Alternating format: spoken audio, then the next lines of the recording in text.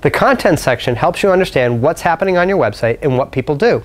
The site content reports are all about the pages on your website, how often people enter on certain pages and exit on certain pages. The site speed reports help you understand the performance of your website.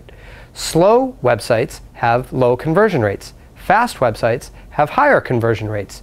Using these reports, you can understand where your website is slow and then try to improve the performance. Site search helps you measure what people enter into the search box on your website. This is really useful data. Using this information, you can identify how people think about your product and your service.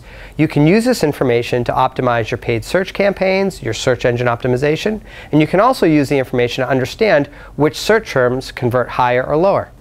Google Analytics events are a flexible way to measure almost anything on your website. If you need to measure clicks on a link or clicks on a button or maybe a video player, you can use events.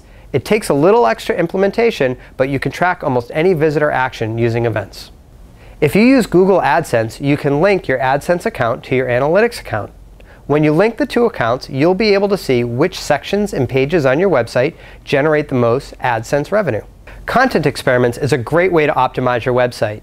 You can use content experiments to test different versions of a landing page or maybe different versions of a checkout page. The whole idea is to scientifically test different versions of the page and then identify which one converts the best.